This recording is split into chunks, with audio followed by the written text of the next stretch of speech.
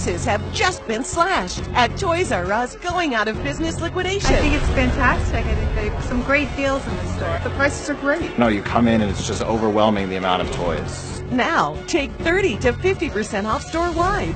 30 to 50% off the brands you love You're not going to get deals like this anytime soon. at every Toys R Us and Babies R Us across America. It's a great time to start shopping for Christmas. We need to go to Toys R Us. You gotta come.